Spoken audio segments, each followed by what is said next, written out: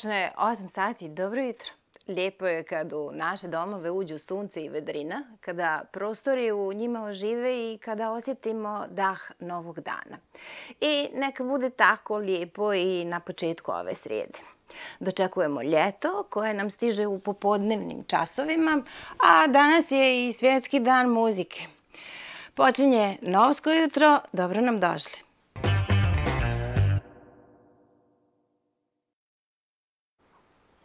Dugo smo čekali i evo konačno smo dočekali. U stvari brojimo još par sati, svega nekoliko sati nas dijeli od zvaničnog početka ljeta. A mi smo čekali naravno da nam se vrijeme proljepša. Kuhali smo malo, dakle, cijeli maj i evo veći dio juna, onako bilo je šareno i ne baš toliko lijepo za ovo doba godine. Ali evo, dakle, konačno imamo i ljetnje temperature, jedan pravi ljetnji dan i danas ćemo zvanično označiti početak ljeta u popodnevnim časovima. Dakle, da čujemo kako nas vrijeme čeka, ali i ostale servisne informacije, saznaćemo od kolege Đorđa koji nas jutro čeka dakle, u radijskom studiju. Đorđe, dobro jutro. Dobro jutro, Slađo. Dobro jutro želimo i svim našim slušalcima i gledalcima. Temperatura vazduha u našem gradu iznosi 22 stepena, relativna vlažnost vazduha 87 procenata, atmosferski pritisak 1023 milibara. Meteorolozi kažu da će danas biti pravi ljetni dan, sunčano i toplo, uz slab do umjeren razvoj oblačnosti, vjetar slab do umjeren promjenjivoga smjera, najviša dnevna temperatura vazduha do 34 stepena, more 23 stepena. Ekipe Cedisa nastavljaju radove na elektromreži, pa će tako dan bez struje do 14 sati biti područje oko marketa Voli u Meljinama, a od 9 do 11 sati struju neće imati čela. Pojedini dijelovi grada će privremeno biti bez vode, tačnije potrošači sa područja Ustaničke ulice i Tople 3, zbog sanacije kvara na vodovodnoj mreži. Bez vode su do 12 sati. Blok servisnih informacija nastavljamo sa redovnim izvještajem sa naše autobuske stanice. Prvi su u naš grad stigli Gaga Tours iz Čačka, Bambus iz Beograda i Neobas iz Banja Luke. U nastavku prije podneva očekuju Arivu iz Požarevca, Montenegro putnik iz Sremske Mitrovice, Niša Ekspres iz Jagodine, Fenix iz Niša, Fudex iz Pančeva, Lens i Božur iz Subotice i Blue Line iz Novoga Sada. Kartu je potrebno rezervisati nekoliko dana ranije, a više informacija moguće dobiti putem već dobro poznatog broja 321-225. Kada je reč o aviosaobraćaju, iz Tivta su realizovali prvi letovi ka Beogradu i Ljubljani. Slijede polasti ka Kraljevu, Nišu, Istanbulu, Londonu i Beču. Daljnije informacije moguće dobiti putem telefona 19880. Podsjećamo sve one koji planiraju putovanje vozom da pored uobičajenog polaska u 20.20 .20 i povratka u 19 sati, Dnevni međunarodni brzi voz sa stanice Barka, glavnom gradu Srbije polazi u 9 sati. Cijene vozne karte drugog reda u jednom smjeru iznosi 21 euro, dok cijena rezervacije sjedišta iznosi 3 eura. Svijet servisnih informacija zaokružit ćemo podacima o stanju na putavima u našoj zemlji. Sa nama ovog jutra iz Automoto Saveza Crne Gore, Vladana Bojević. Vladana, dobro jutro saobraćaj se po osuvim kolovozima iz dobru vidljivost. Vozačima se savjetuje da vožnju prilagode stanju na putu i poštuju pravila saobraćaja. Na putevima na kojima su radovi u toku izmijenjeni režim vožnje. Na snazi je zabrana saobraćaja za teretna motorna vozila čija najveća dozvoljena masa prelazi 7,5 tona, u periodu od 15. juna do 15. septembra svakim danom na sljedećim dijelovima magistralnih i regionalnih puteva. M1, granični prelaz Debeli Brije, Herceg, Novi Kotor, Tivac, Kartovska, Raskosnica, Budva, Bar, Ulcin, granični prelaz Sukomi, M2, Podgorica, Sotonić i Petrovac i M10, Podgorica, Cetinje, Budva u vremenu od 17 do 22 časa. Na regionalnim putevima R1, Kotor Trojica, opština Kotor do mjesta Krstac, opština Cetinje, R29, dionica Bar 2, opština Bar do mjesta Kamenički most Krute, opština Ulcinj u vremenu od 7 do 22 časa. Zabranjuje se saobraćaj autobusa u svakim danom u vremenu od ponoći do 24 časa na dionicama regionalnih puteva R1 od mjesta Krstac, opština Cetinje do mjesta Trojica Kotor, opština Kotor i smjera Njeguša u smjeru Kotora. R29 dionica Bar 2 opština Bar do mjesta Kamenički most Krute opština Ulcinj u oba smjera osim autobusa koji obavljaju javni gradski prevoz. I R25 Međuvrši Lovćen od parkinga do Mauzoleja u oba smjera. Ova naredba se ne odnosi na vozila sa pravom prvenstva prolaza, vozila za održavanje puteva i PTT instalacija, vozila za pomoć na putu, specijalna vozila za prevoz životinja, betona i asfaltne mase i hladneče koje prevoze lako kvarljivu robu, kao ni na vozila za prevoz opasnih materija na dijelu magistrnog puta od graničnog prelaza Debeli brijeg preko Herceg Novog i Kamera do kružnog toka u mjestu Lipci. Saobraćaj u prekidu za sve kategorije vozila na regionalnom putu Mojkovac-Đuđevića-Tara u mjestu Dobrilovina. Zbog izvođenja radova uz popu rekonstrukcije magistrnog puta Rožaje Špiljani, Saobraćaj se obustavlja od 8.30 do 11.30 i od 13.45 do 16.45 kao i od 20.30 do pola sata posle ponoći. Na regionalnom putu Pljevlja Metaljka zbog izvođenja asfaltarskih radova saobraćaj se obustavlja za sve vrste vozila u terminu od 13 do 17 časova. I u ostalom dijelu zemlje izvode se radovi, ali u okviru redovnog saobraćaja. Toliko iz Auto Moto Saveza Crne Gore.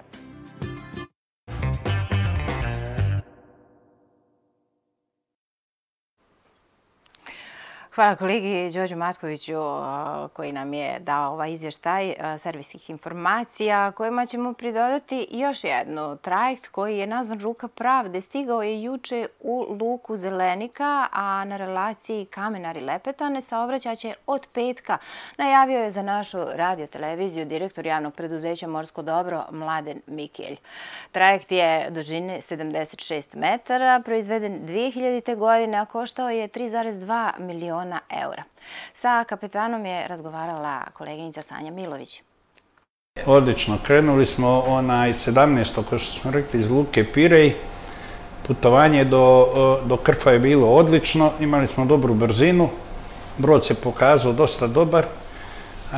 Izlaskom iz Lavkade E, bilo je mora, bili su talasi preko oko 2 metra, tako da nismo htjeli da rizikujemo ništa. Stali smo na krv oko 5 popodne do znači, nekih 12 sati smo stojali. I juče ujutro rano smo krenuli sa krfa put Crne Gore. Usput, kako smo se približavali e, teritorijalnim vodama Crne Gore, brzina je bila sve veća i veća, tako da smo stigli mnogo ranije od najavljivanog vremena koje je bilo da će ruka pravde stignuti u Boku Kotorsku. Znači, stigli smo negdje oko 6.30. Napravili smo blagi krug do Njivica, Herceg Igala, Herceg Novoga, svirali, probudili narod Herceg Novoga i najavili dolazak u Luku Zelenika. Kako su oni, kakav je brod po vama? Brod je, brod, je, brod je dosta dobar što se toga tiče, ima veliki kapacitet tovarni, Eh, mogu da izlaze u tri reda kolac preko rampe, ali kao što smo već pričali, u neku ruku je to dobro, u drugu ruku je to loše. Zašto? Zato što naša infrastruktura ne može da primi taj kapacitet koji on koji on onaj, može da iskrca u datom momentu. Tako da u jednu ruku imat ćete s jedne strane ćete imati privilegiju da očistite obalu, a s druge strane ćete imati problem s time što će biti saobraćaj zagušen, jer naša magistrala ne može da primi toliku količinu auto od jedan put. Tako. E sad, ono što je interesantno svakako je da je vlasnik broda sa vama došao iz Grčke. Jeste, jeste, sortir je Grk, jedan od vlasnika brodova, inače kapetan na ovom brodu. On je od prvoga dana, 23 godine se nalaze na ovom brodu i to je čovjek koji najbolje pozna i ovaj brod. I on je e, prihvatio da nam bude podrška i da nam bude pri ruci u svemu, pošto ovaj brod, za razliku od ovih svih dosadašnjih brodova koji su, ima šotele diagonalno, znači prednji šotel je na lijevoj strani, a zadnji je na desnoj, što u našim uslovima mi se još nismo susretali sa time, tako da on nam valja u svemu tome da bi nam onaj, i omogućio da vidimo i brzinom kojom možemo da uplovljavamo na obali i manevarske sposobnosti broda.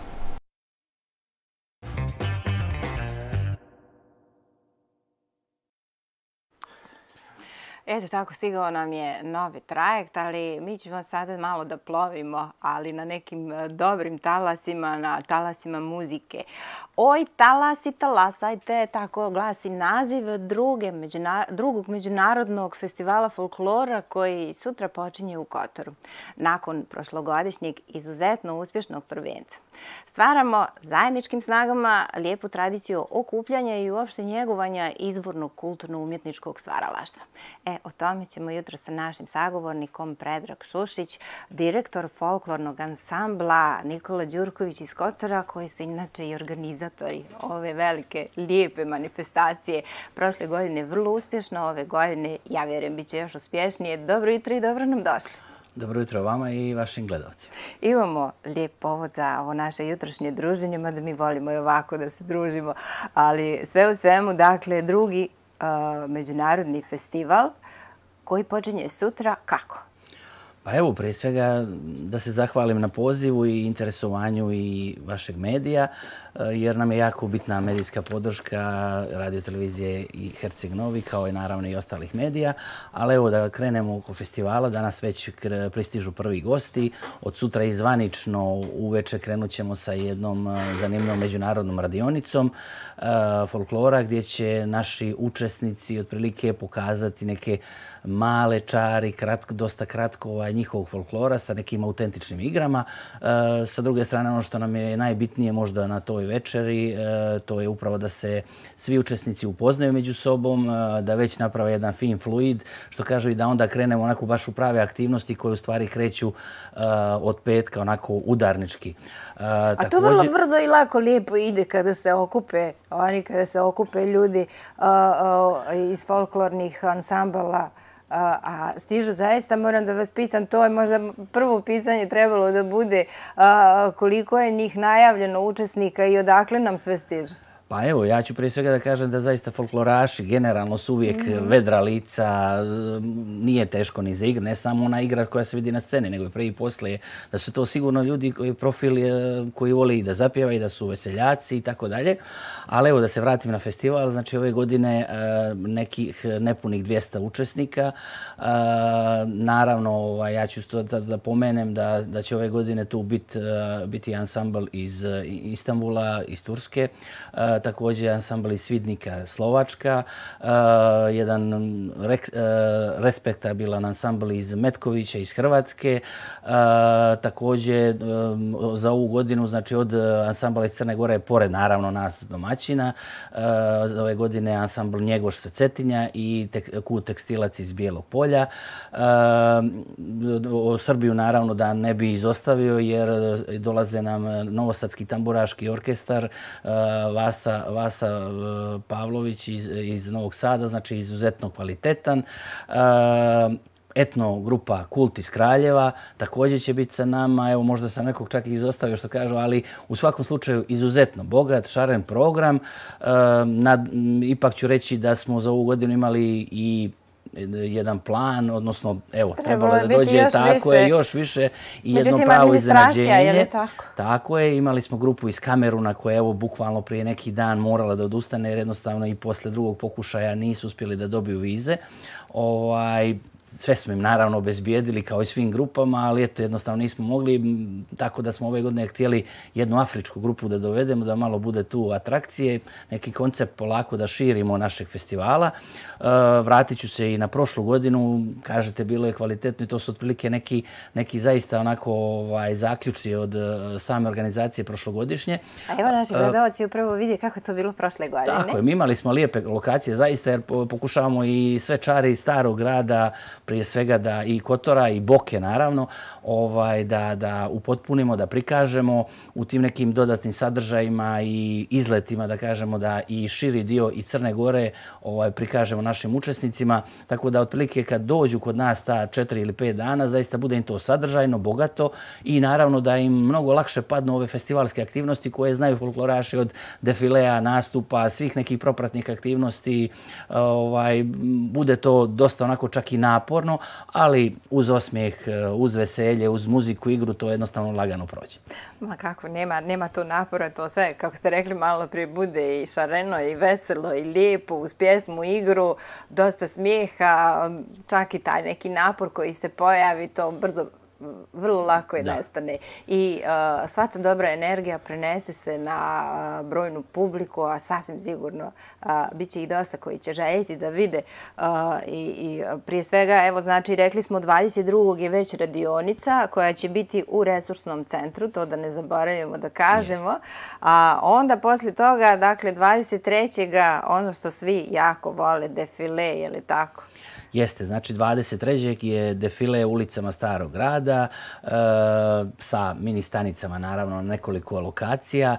E, sigurno tu će građanstvo malo i da se priključi da vidi otprilike svo to šarenilo ovaj, različitosti nošnje. E, ističem da su svi ansambli sa živim orkestrima tako da će se različite i melodije i ritmovi čut sigurno tokom samog defilea. E, naravno, I onda? U 21 svečano otvaranje na ljetnoj pozornici otvorena scena Uh, eto, što kažu, i to je ono pravi, ono pravi, pravi čini mi se početak nečega što, što, što, što ćemo raditi u narednih dva, tri dana.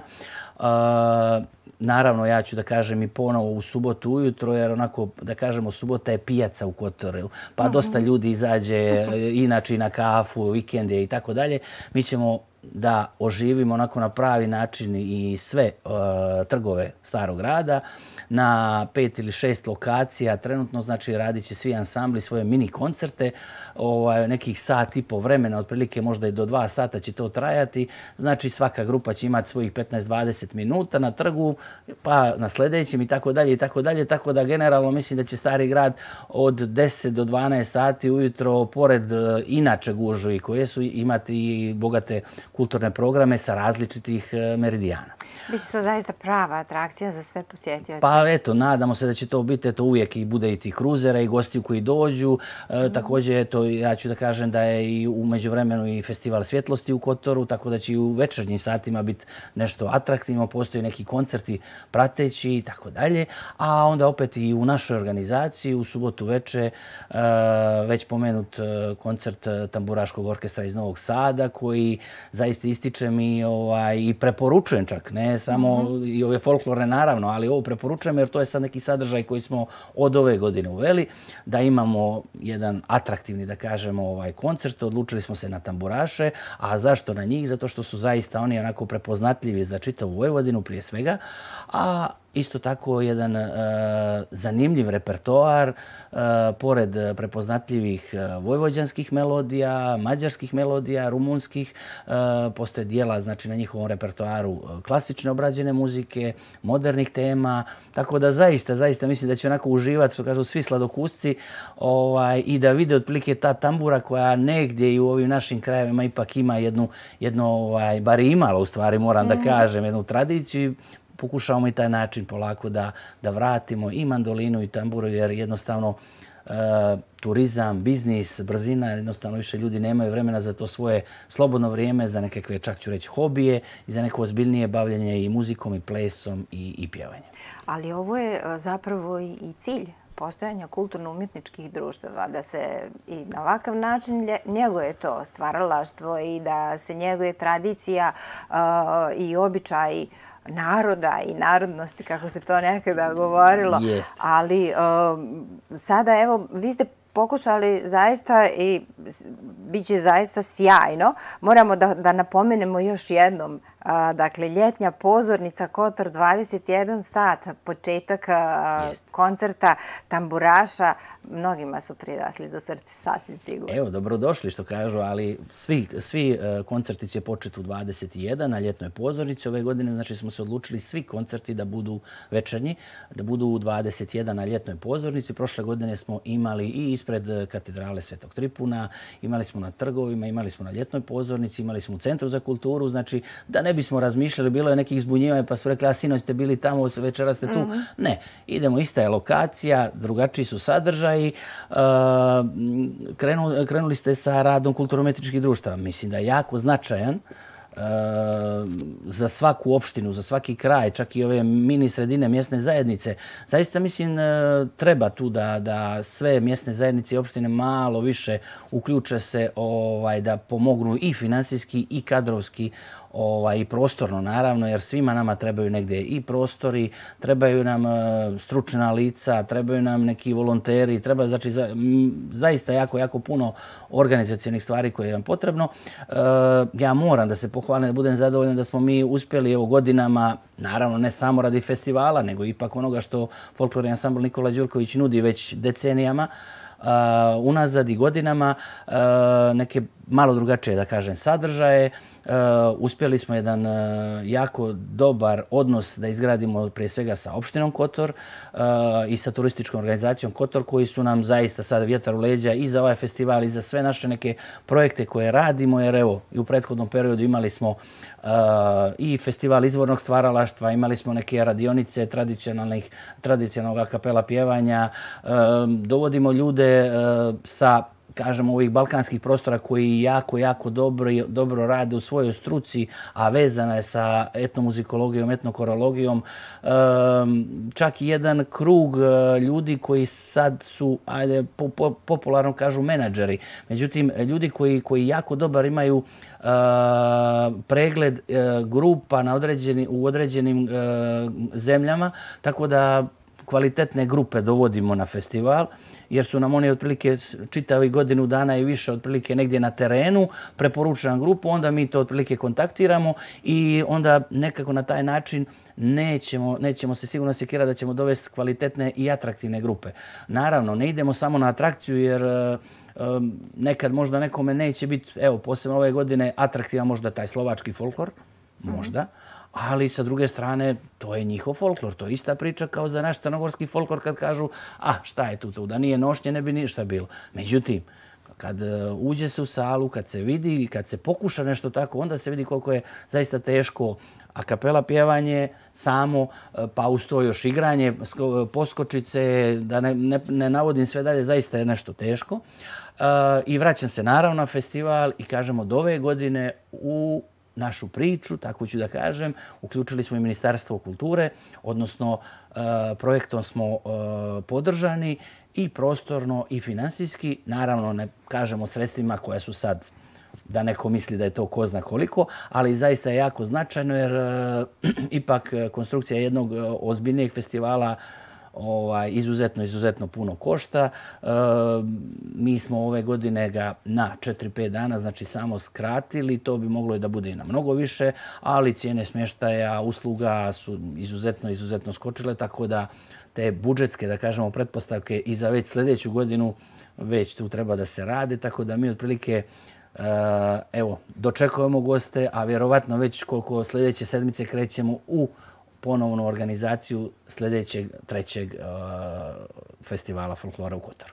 Pa evo, vi radite ono što je u vašoj moći na najbolji mogući način. Organizujete, trudite se da dovedete ljude. Uh, lijepo je čuti zaista da su i opština i uh, turistička organizacija, oni prije svega i trebalo bi uh, da podržavaju ovakve manifestacije i rad uopšte kulturno-umjetničkih društava. Uh, jer upravo je to najbolji reprezent onoga što grad i sredina i naša država imaju na svaki mogući način, ali definisali ste ovdje otprilike i neke probleme sa kojima se susreću u svom radu kulturno-umjetnička društva i to je neka boljka svugdje koliko možemo da čujemo. Dakle, i problem prostora gdje će se društvo okupljati, gdje će održavati probe, prije svega raditi i naravno nerijetko čak i e, gdje će imati koncerte, ali na kraju krajeva, kako ste rekli, e, može se uvijek i na trgu neki koncert dobar, ali ono što je bitno jeste da se obezbijedi prostor, da se obezbijede sredstva, da se obezbijedi e, stručni kadar, seminare koje će pohađati, stalna jest, edukacija. Jeste to onda također, evo, pored tog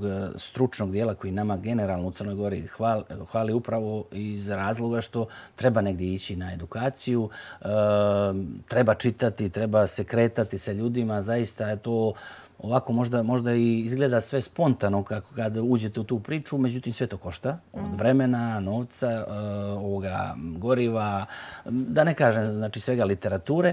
Međutim, jedan segment koji je jako skup i jako, a jako značajan bez kojega folkloraši ne mogu, to su narodne nošnje i održavanje prije svega u nabavci samoj, one su već skupe, a onda samo održavanje prostori tih naših garderoba, da kažem naših u smislu svih ansambala po Crnoj Gori i šire, su dosta neadekvatne, ne dosta, nego u većini mhm. slučajeva neadekvatne.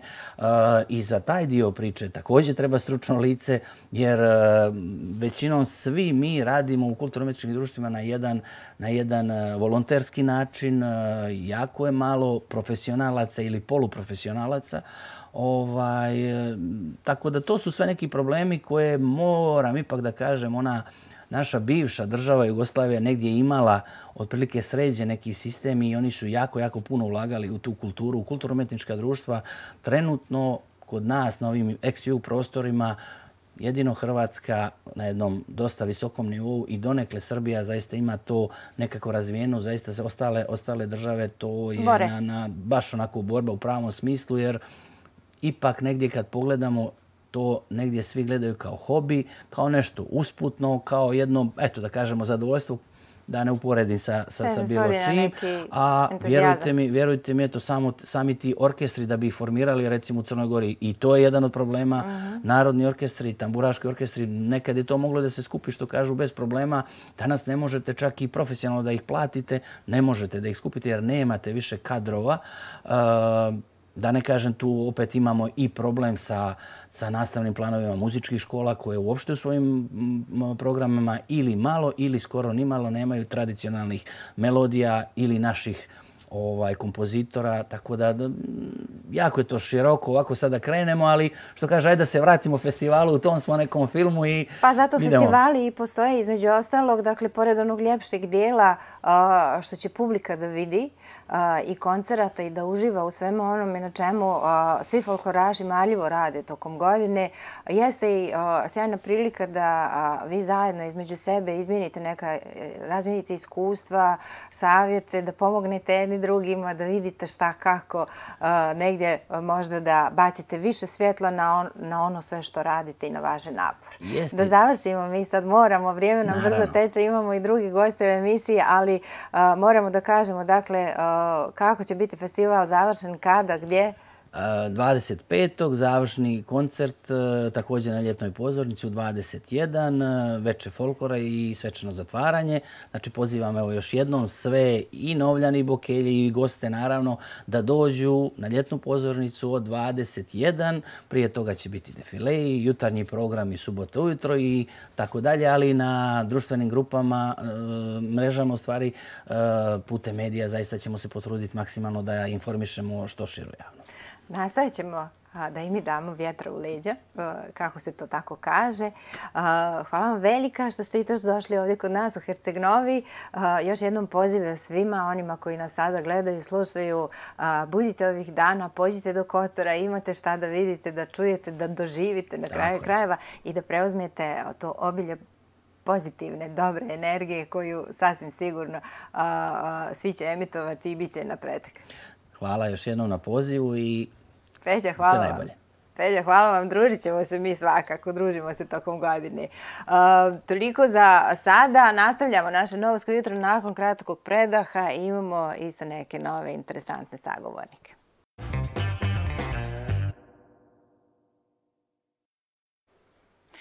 Novsko jutro, nastavljamo sa nekim novim temama. Pričamo o sportu, tačnije o najtrofejnijem crnogorskom sportu, Waterpolu, a i naravno najtrofejnijem klubu, plivačkom vaterpolu klubu Jadran. Najbolji sagovornik za to nam je direktor plivačkog vaterpolu kluba Jadran i član LEN Biroa, najvećeg izvršnog organa Evropske federacije vodenih sportova, Miloš Mračević. Dobro jutro, dobrodošli. Dobro jutro i bolje vas našao i hvala na pozivu. Evo, um, nekako kako nam približava se ljeto, kako se završavaju prvenstva, mi poželimo da sumiramo, da vidimo kakva nam je bila sezona. Možemo da kažemo uh, za Jadran ove godine uspješna sezona za sve kategorije? Pa da, zaista sa zadovoljstvom mogu da konstatujem i u lično ime i u ime uprave kluba da je prethodna takmičarska sezona, odnosno ovaj zimski dio takmičarske sezone, jer u suštini takmičarska sezona 22-23 traje još i tokom ljeta, s obzirom da se igraju kupovi za mlađe kategorije, ali ovaj zimski dio koji je dosta veći i dosta obimniji, možemo biti zaista zadovoljni prva vaterpolo ekipa ispunila sve ciljeve, zadržala primat na crnogorskoj vaterpolo sceni. Želim da podvučem da to nije nimalo lako, iako smo mi se nekako razmazili i navikli da je to sasvim normalno da od 2012. godina Jadran uzima sve moguće trofeje na domaćoj sceni, ali nije nimalo lako. Primorac je sve bolji i bolji, pa čak i statistika je nekako na njihovoj strani da se treba desiti neki preokret, tako da sam izuzetno zadovoljan i sretno što smo ove godine na jedan ubjedljiv način osvojili osvojili kup a, i prvenstvo, pružili neke dobre partije u regionalnoj vaterpolo ligi, E, nažalost ostali na našu sreću, a e, da kažem i na neku štetu crnogorskog vaterpola ostali samo kao jedina vaterpolo ekipa u prvoj vaterpolo regionalnoj ligi. Nažalost, e, u idućoj sezoni naši sportski prijatelji iz Kotora i Budve neće biti u tom najelitnijem, najelitnijem takmičenju. Imali smo neke dobre partije na, u kvalifikacijama za ligu šampiona u Eurokupu, prošli tri kruga i tu smo bili zaustavljeni u jednom turniru gdje smo bili onako dosta i respektabilna ekipa i pružili neke dobre partije, ali u, u tom krugu tri malo najbolje ekipe sreće, malo, nam je, malo nam je nedostajalo, ali sve je to normalno za jednu jako mladu uh, ekipu. Ono na što sam posebno ponosan, to su mlađe vaterpolo selekcije koje su, to mogu slobodno reći zvanično, smo najbolji klub kada su u pitanju mlađe vaterpolo selekcije na prostoru bivše Jugoslavije. Nakon pauze koje smo imali radi korone, ove godine su organizovana tri finalna turnira za tri godišta koja su obuhvatala godišta 2007, 2009 i 2011. Možemo slobodno reći kompletan dijapazon mlađih kategorija organizovani su turniri, finalni turniri deset najboljih ekipa koje su okupljale po tri najbolje ekipe Srbije, Crne Gore i Hrvatske, reprezentaciju Slovenije. Dva turnira smo osvojili, na jednom turniru smo bili drugi i to smo izgubili na peterce, tako da smo bili, da kažemo, i na, na, ravnopravni protivnici mm. i da je samo sportska sreća bila na strani druge ekipe. Usto smo na najvećem turniru koji okuplja preko 50 ekipa u Dubrovniku, Tomu, Dovičić za dva godišta, u jednom godištu bili prvi, u jednom drugi.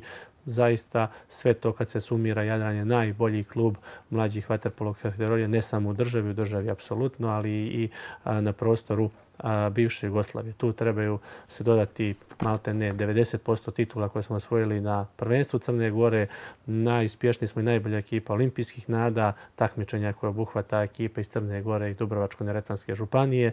Tako da zaista možemo biti presrećni kada su u pitanju i preponosni kada su u pitanju mlađe vaterpolo kategorije. Ja zaista želim da čestitam i svim igračima i trenerima i pomoćnim trenerima, sigurno i roditeljima te djece koje nije nimalo lako i koji na neki način servisiraju sva ta odricanja i djece i porodična da bi se ovo sve postiglo, ali mislim da im je ovaj zadovoljstvo i satisfakcija jako, jako, jako, jako velika. Plivači su također, evo da, da, da sumiramo kompletan pogon, ovaj, također bili na visini, na visini zadatka moramo da kažemo da mi od kad nam se urušio krov bazena instituta Igalo imamo dosta otežane, otežane uslove da taj balon na škveru vizualno lijepo izgleda, ali da to nije pravi Teško bazen, je. to je jedan pokrivač i da tu imamo izuzetne u zimskom periodu izazove i poteškoće u funkcionisanju, pogotovo po pitanju plivanja, jer taj bazen je tako strukturiran da nemamo tu distancu čisto 25 metara po širini, jer njegova širina je 22 metra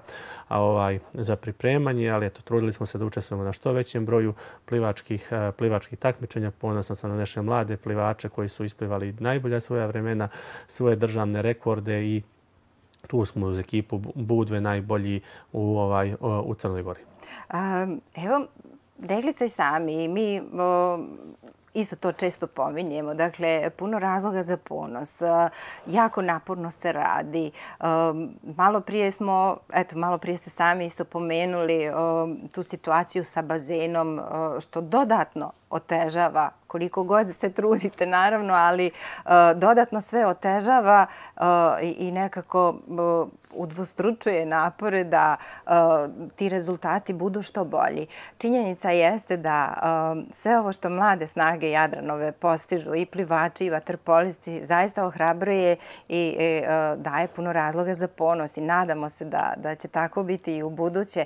Ali sa druge strane, evo oni su bili organizovan je prijem kod predsjednika opštine za mlade, uspješne sportiste Jadranaše. Um, da li je bilo, sad pomenuli ste i bazen, da li je bilo neke riječi konkretno? Tamo smo mogli čuti da, da se pominjala izgradnja zimskog bazena. Uh, šta je konkretno rečeno? Ima pa li neki... Sigurno razloga za ponos ima, i, ali eto, nažalost moram da konstatujem, nije to samo pitanje uh, o vaterpolu, sportu, nekako je društvo postalo da dosta više glorifikuje i, i podlači neka druga devijantna ponašanja, ne ova prava, ova prava sportska i neke prave životne ovaj, stilove i životne odluke. To mi uh, kad kad sumiramo te rezultate, ali mislim da bi dosta više i vremena i pažnje svi zajedno kao društvo trebali da, ovaj, da, da, da, da, da, da, da, da odvojimo za svaki pojedinačni od ovih, od ovih uspjeha jer iza svakog ovog uspjeha zaista ovaj, e, leži jedan ogroman rad prije svega tih sportista, njihovih trenera, a kad mislim na sportiste zaista mislim na njihove porodice i današnjem vremenu nije nimalo lako se organizovati za sve. Tako da, Svako vrijeme nosi neke nove posebne izazove za te mlađe generacije i za vas koji radite sa njima. Sigurno, sigurno i izazova je sve više i više i nažalost svjedoci smo da je sve više i više problema problema u društvu i baš iz toga razloga moramo se svi, a prije svega ljudi koji su ovaj odgovorni i za lokalni, i za javni, i za državne politike, da se dosta više pozabave sportom i da zaista na neki način uh, više glorifikuju te rezultate, jer nažalost više ti rezultati i, i, i neko normalno ponašanje nije, nije normalno, ono je postalo, uh, postalo izuzetak i baš iz toga razloga smo još i više ponosni na ovo, uh, na ovo što je učinjeno. Pomenuli ste bazen. Da, nažalost, e, i pored bazena na škveru koji je divan, ali moramo jasno i glasno reći da je to ljetni bazen, da je to bazen koji je projektovan i osmišljen da radi u ljetnim mjesecima, u, jednoj, u ljetnjoj polovini godine, negdje od aprila mjeseca do, do oktobra mjeseca. On je takav, e, takvog i mašinskog sklopa, sklopa grijanja koje nije napravljeno da se grije u zimskim mjesecima kada je najhladnije, već u, u tim prolazni, prelaznim mjesecima proljeća i jeseni i sticajem okolnosti velike havarije koje se desila u institutu prije, evo, sada ćemo se približiti dvije godine, na sreću da nije bilo ovaj žrtava i nekih većih E, E, poteškoća s obzirom da su plivači e, u bazenu plivali do nekih 18.30 ili 19 časova, to se sve desilo nekih sati za ponoći, znači pa, sa, samo sa par sati ovaj e, razmaka. Upali smo jedan, jedan veliki problem i Jadra nema pravu zimsku kuću kako ima u institutu Igelo, već imamo jednu improvizovanu kuću na škveru koja, kažem, lijepo, jako lijepo izgleda, ali zaista zade velike i organizacione i funkcionalne probleme jer sami objekat nije nije ovaj a, nije planiran i nije projektovan da radi u zimskom periodu, već je ono jedna velika improvizacija, improvizovano je grijanje ovaj vazduha koje je jako skupo, sam balon nije baš prirodna sredina jer se iz razloga što se on održava na način da se jedna jedan pritisak vazduha drži kompletnu tu ovaj e, tu ceradu odnosno balonsku balonsku ceradu. Imamo neke poteškoće sa e, slačionicama sa mokrim tvorovima jer je sve to ostalo mimo mimo balona i tako dalje. Da vas sad ne opterećujem tim tehničkim detaljima imamo probleme sa grijanjem vode u datim trenucima kada temperatura vode u moru padne i kada toplotne pumpe ne mogu da urade ono što je potrebno. Tako da samo mi znamo koji su ti dnevni, a i noćni problemi kada se udari vjetra, kada je jugo, kada je bura. Ali eto šta je tu je, nekako nam je taj balon uh, dao mogućnost da se tokom zime preživi, da se radi, da se funkcioniše, ovaj, da, da, da krug, da krug nastavi. Da, ono što nas posebno raduje je činjenica da je možda prije par nedelja ili ne znam tačno koliko dana na Skupštini grada usvojeno i lokacija i odluka o gradnji novog 50-metarskog olimpijskog bazena na prostoru eh, blizu sportske dvorane, odnosno mislim tačno između sportske dvorane i nove autobuske e, i da će grad e, krenuti ka nadležnim državnim organima, agenciji za kapitalne investicije, već e, ministarstvu i tako dalje, da se već pokrene ovaj proces izrade idejnog arhitektonskog rešenja, zatim glavnog projekta i da se krene, krene u to. Paralelno sa tim, znate sami da je bila odluka o rekonstrukciji bazena instituta Igalo, da je taj projekat također projektna dokumentacija u nekoj završnoj, završnoj fazi i sada će se trebati odlučiti da li se krenuti u jednom, jednom ili drugom pravcu. E, imamo ta dva pravca, ali nažalost e, jedan i drugi ne mogu u najboljem slučaju biti kroz dvije ili tri godine, tako da za sav taj period koji nije ni malo mali, to su dvije ili tri takmičarske sezone, moramo da nastavimo da funkcionišemo ovako, da nađemo i neka nova rešenja za neke izazove i za neka takmičenja koja ne mogu da se igraju pod, pod balonom, jer nažalost evropska takmičenja ne mogu da se igraju pod balonom i to moramo jasno i glasno ovaj e, reći da to je ispod standarda, da je to dosta ispod standarda i da neće morati da traži neka, neka nova rešenja ukoliko želi da bude dio e, evropske vaterpolo porodice. A upravo to sam i želio da vas pitam. Evo, znači, naredne sezone igra se i novi format Ligi šampiona. Jadran učesnik? Jadran ima mogućnost mm -hmm. učešća. Jadran je i Crna Gora je u najboljih 11 reprezentacije Evrope po zvaničnom rankingu Lene koji je ove prvi put ove godine publikovan i na osnovu tih kumulativnih rezultata kako kluba, tako reprezentacije, šampion Crne Gore ima pravo učešća direktno u direktnoj, ovaj, direktnoj fazi Lige šampiona, odnosno u najboljih 16 ekipa ovaj, Evrope pravo je jedno, mogućnosti su drugo. E, Što ćemo sve organizovati je treće ili da kažemo skup prvoga i drugoga. Tako da nam sada prestoji jedan mukotrpan period kada to sve treba da organizujemo. Stvari će ići na sljedeći način. Ovih dana očekujemo da nas Evropska asocijacija vodenih sportova, odnosno njihov vaterpolo direktor i vaterpolo department kontaktiraju sa informacijom da imamo pravo učešće u Ligi šampiona, da nam dostave sve potrebne zahtjeve, obaveze, organizacione, finansijske,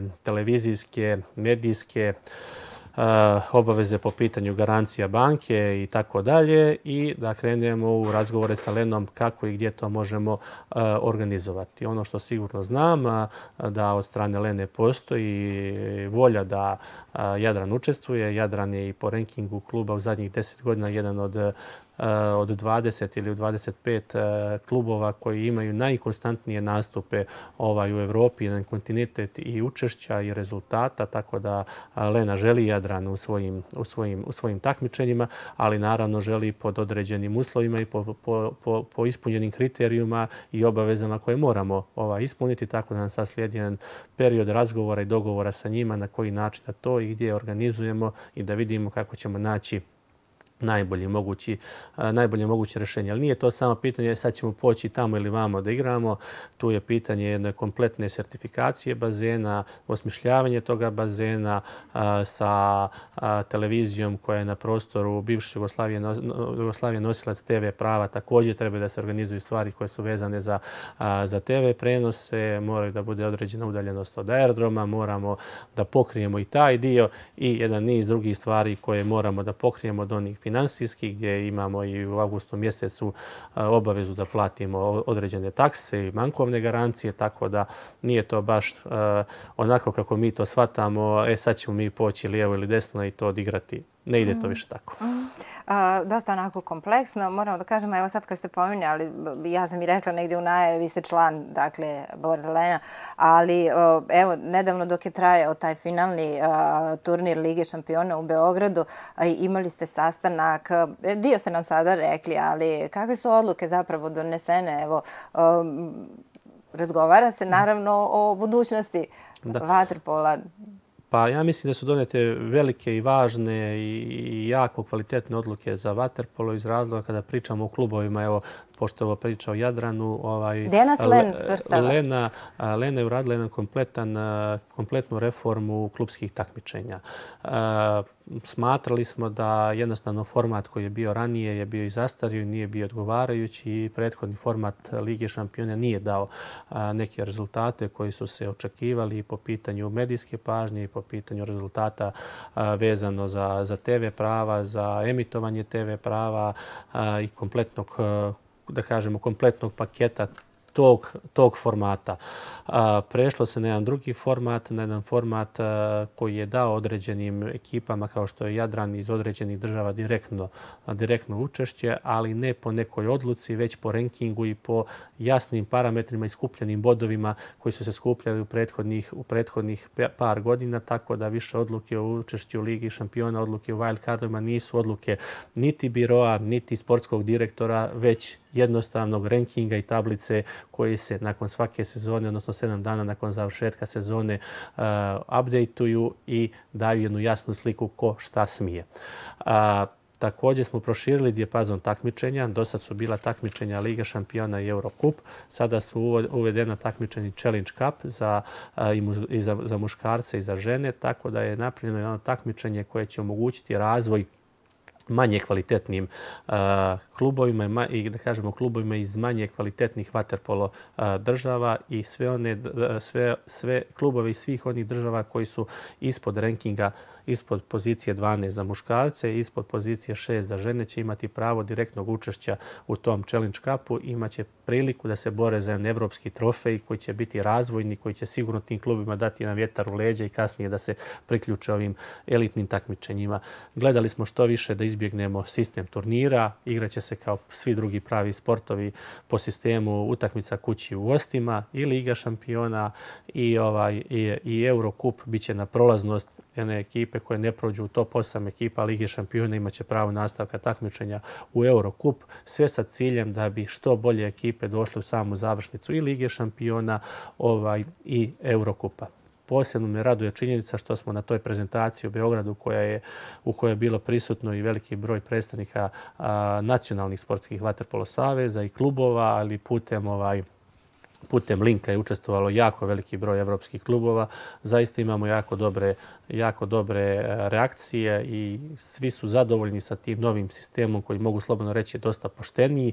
Ne daje slobodu niti menadžmentu, niti, niti, niti upravnom odboru da nešto odlučuju, već a, po rezultatu i prema zaslugama daju svima put u Evropi kojim trebaju, trebaju da idu i s ovim odlukama očekujemo da, da bi po prvi put u istoriji mogli da pređemo a, broj od 100 ekipa koje će učestvovati u evropskim klubskim takmičenjima. Pričali smo malo o uslovima, nije malo, ali eto, pričali smo o uslovima i šta je to što pred gradom, Jadranom, uopšte državom našom kada je u pitanju vaterpolo predstoji. Možemo li očekivati sada neko važno takmičenje da se održava ovdje kod nas na skveru. Evo, dok ne stigne taj bazen. Da budemo pa, domaćini nečeg. A, ono što mogu da kažem da je da mi imamo mogućnosti, mm -hmm. a hoće li doći je pitanje da li ćemo mi rezultatom doći do završnih mm -hmm. turnira, jer Jadran i Herceg Novi imaju pravo da apliciraju za završne turnire svih takmičenja. Bio Eurocup, bio finalni turnir Lige šampiona. E sada, pitanje je rezultata da li će se doći do toga, a ako se dođe do toga pitanje je organizacijonih i finansijskih, finansijskih a, a, a, mogućnosti i spremnosti da se stane ozbiljno iza toga i da se to uradi. Više finalni turniri i završnice takmičenja ne mogu da se improvizuju. A, sada je u Beogradu bio finalni turnir Lige šampiona. Jedna kompletna mašinerija grada i opštine Novi Beograd je stala iza toga da bi to napravila u jednom Beogradu. Ako se to radi u jednom Herceg Novome, ovaj, to treba se radi još, još ozbiljnije, s obzirom da su naši kapaciteti po prirodi, po prirodi stvari, po prirodi dosta, dosta, dosta, dosta manji, ali ja bi nekako bio jako sretan da se mi više manemo ove teorije da je sve moguće, da je sve jako lako i da ćemo eto, mi to u posljednjem trenutku odlučiti, da ćemo mi to sve dobiti. Nažalost, a, a, mnogi mnoge ovaj sredine se se bore za to. Jedan Beograd je uzeo da, da organizuje finalni turnir Lige šampiona u onoj godini kada nije bila ni jedna ekipa iz Srbije baš iz razloga da bi naredne dvije godine dobio pravo organizacije, tako da zaista se moraju moramo dosta pomučiti, a isprositi po pitanju organizacije, organizacije i financija, jer jednostavno sa nekim skromnim sredstvima i sa skromnim ulaganjima i sa skromnim izdvajanjima stvari se ne mogu ovaj ne mogu ovaj organizovati dati, eto, razumijevajući sve, sve okolnosti, svoju situaciju, nekako nisam baš, baš najsretniji da se, da se za vaterpolu u našim susjednim opštinama i u Kotoru i u Budvi dosta više izdvaja. Mm. Nadamo se zaista da će se situacija promijeniti u korist uh, naravno ovog našeg uh, naj, na, nama najvažnijeg kluba ovdje u Herceg-Novom. Evo sad uh, rekli smo uh, novi su izazovi svakako pred vama. E, šta možemo da kažemo? Pitala sam negdje na početku, ali evo da se vratimo tome. E, možemo li očekivati neka pojačanja? Ko, ko ostaje, ko odlazi? Pa ono što je nama najvažnije u ovom trenutku da smo sa svim našim mladim igračima koji su ponikli iz naše vaterpolo škole, koji su u ovom trenutku i okosnica reprezentacije Crne Gore, koji u ovom trenutku čak i neki prednjači za, za titulu u svom godište najboljih igrača i u Evropi i u svijetu su produžili ugovore a, o, o, sa Jadranom i ostaju, ostaju u Jadranu. Za razliku od prošle sezone, samo će nas napustiti ovaj a, bek ruski, ruski igrač koji je bio kod nas iz razloga što ovaj, ovaj više ne može da odgovori svim tim fizičkim uh, i igračkim izazovima i prestaje igračku, igračku karijeru, ali nam je zaista za prošle godine, pogotovo u prvom dijelu sezone, bio jako, jako važan i dao veliki, veliki doprinos. Ukoliko se odlučimo da idemo u Ligu šampiona, a neka posljednja odluka uprave kluba koja je e, bila prije dva dana je u tom, u tom pravcu, mi jednostavno moramo, moramo uzeti pojačanja da bi bili prvo restatebilni, da ne bi izgubili ovaj rating koji smo, koji smo dobili, a i zaista da ovi mladi igrači imaju za sebe neke iskusnije igrače, da se ozbiljnije pokažemo na evropskoj, evropskoj vaterpolo sceni, a ne da dođemo na neki način sa djecom i da ne postignemo nikakav zapaženi, zapaženi rezultat. Također i u tom ovaj i u tom smjeru su ovaj donesene neke odluke na upravi kluba da se ide u tom pravcu. Šef stručnog štaba i trener su zaduženi sada da nađu neka adekvatna pojačanja koje se mogu naći naći u, u, ovom, u ovom trenutku koji bi se na neki način uklopili u našu ekipu da su i kvalitetna, ali da su i neki igrači koji su spremni da rade jako puno s obzirom da našoj mladoj ekipi je potreban jedan intenzivan i obiman trening, da ovo nije jedna iskusna ekipa koja može sa, sa nekim kraćim i lakšim treninzima da funkcioniše, da budu igrači koji će poštovati i na neki način i, i vući za sobom ovaj, ove mlade igrače da postanu još bolji. I ja se nadam da do kraja prelaznog roka koji je negdje do a, prvih dana septembra ćemo doći sa nekim pojačanjima koja će biti prava pojačanja i koja će biti nekako u skladu i sa mogućnostima i sa finansijskim a, stanjem koje se treba ispuniti ovaj prema njima i da ćemo ukoliko uđemo u Ligu šampiona ući ovako respektabilni i da se borimo u tom prvom dijelu Lige šampiona pa da vidimo u drugom dijelu da li u nekom daljem prolasku ili odlasku u Eurokupu. A, moram da vas pitam to. A, dakle, a, zaista je vrijedno pomena članica Jadrana Vjera Bulajić. Znači, 14 godina djevojčica ima. Sjajna mlada vaterpolistkinja. Igraće za vaterpolo reprezentaciju Srbije i na prvenstvo Evrope u Zagrebu. I evo sad, da li je to prva vaterpolistkinja iz Herceg-Novog? Mi smo nju i ranije negdje pominjali, sjajno ona trenira, uh, odlična je, moramo da kažem, evo ja kao predstavnica ženskog roda, onako sa ponosom nekim posebno gledam na to.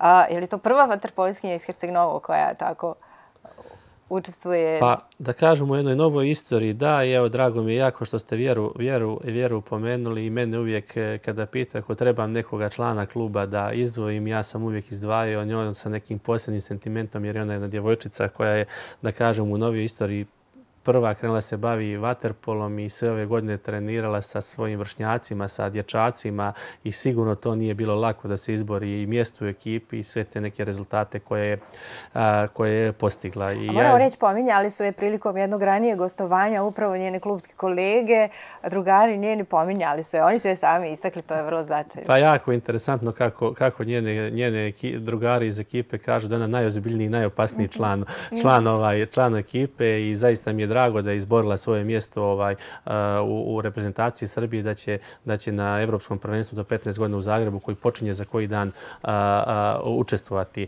A, njeno učešće i njeni treninzi nam otvaraju jedno vrlo važno pitanje, ne samo za Jadran, već za crnogorski vaterpolo, to je pitanje, uh, pitanje ženskog vaterpola. Mhm. Jednostavno, Crna Gora mora da krene sa ženskim, sa ženskim vaterpolom i u sklopu toga Jadran mora da krene sa ženskim vaterpolom i evo, nakon, uh, nakon vjere mi već imamo sada i par drugih djevojčica koji treniraju sa dječacima i čak je to neki dobar razvojni put i to su radile i Srbije i Hrvatska da su u početku djevojčice uključivali sa dječacima, da su imali pravo da godinu dana starije nastupaju i kroz taj neki nastup se pomalo povećavala baza djevojčica u klubu. Ono što bi trebao da po meni bude cilj Crne Gore, a to je da postoji jedna odluka da se na narednim, narednim igrama malih zemalja na koje pripada, a, pripada Crna Gora koje se treba 2027. organizovati u, a, u Monte Carlo, u Monaku, a, će biti vaterpolo na programu. Biće, kako sada stari stoje, i ženski i muški vaterpolo. Što se tiče muškog vaterpola, to nam nije toliko nizazovno s obzirom da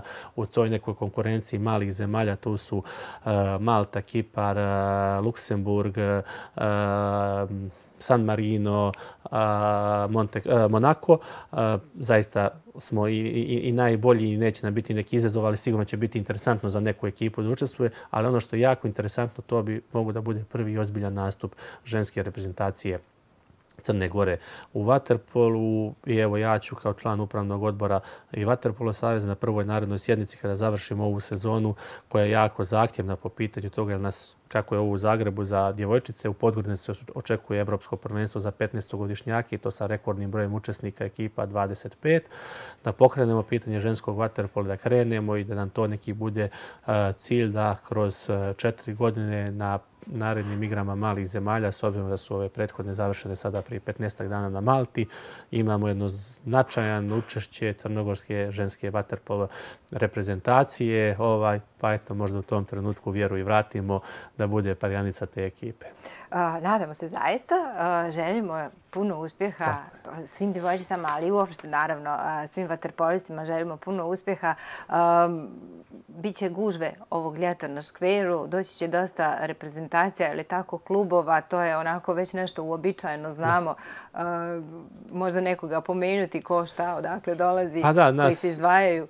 Da, očekuje nas jedno dinamično, dinamično ljeto. Nažalost, ne možemo više da privlačimo toliki broj ekipa tokom ljeta s obzirom da nemamo bazen instituta, jer i u mhm. ljetnjem periodu, kada to i svi ne vide, bazen instituta i radio, imao svoju ulogu i svoju funkciju i dio treninga su se obavljali institutu i pogotovo gostujući ekipe imali smo taj, da kažemo, model organizacije da jedan trening odrađuju u institutu, jedan ovdje na škveru, što je jedna dobra forma da, da, da, da, da, da da rasteretimo oba bazena, da oni tamo u nekako u hladu i ovaj eh, i u sjenci rade jutarnje treninge, da večernje treninge rade u škveru, na škveru, tako da je taj resurs i u ovom trenutku ovaj uskraćen i nedostatak bazena u institutu i na taj način ograničava i klub i grad za razvoj a, sportskog turizma, ali bit će dinamično ovoga ljeta. Već smo imali tu i reprezentaciju Kine i prezentaciju Holandije.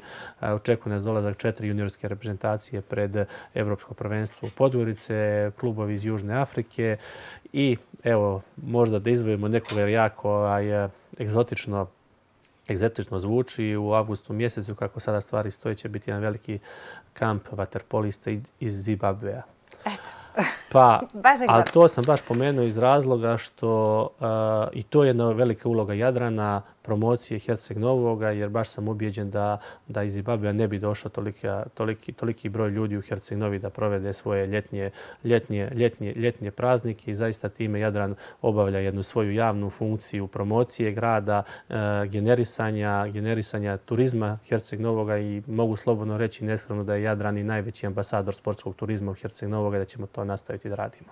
A, sjajno, neka bude tako. Hvala vam velika, želim vama svima u Jadranu puno, puno uspjeha, puno aplauza, puno golova, puno dobrih utakmica i naravno dobre vijesti uvijek. Da. Eto. Eto, hvala vam. Ja bi samo to prebacio množinu svima nama u Herceg Novome, da, da svi ti rezultati i više služe, služe na ponos i da svi zajedno probamo u narodnoj sezoni da oni budu još, još bolji, pogotovo kada je prva ekipa, prva vaterpola ekipa u pitanju. Ja sam to namjerno tako rekla zato što mi obično svojatamo, a, a trudi rad pripada vama.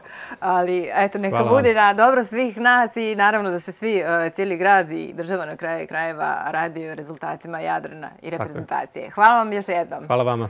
Eto, malo smo produžili emisiju, samo ćemo vas podsjetiti, dakle, jutro smo budili ljeto na tvrđavi Forte Mare, dakle, u 4.45 nastupom novosadskog benda Gift. E, čekali smo ljeto. E, kako je bilo, vidjet ćemo na kraju današnje emisije i onda, e, evo, pozdravljam za danas, dakle, za sami kraj, buđenje ljeta sa tvrđavi Forte Mare. U ime ekipe želim vam prijatan dan.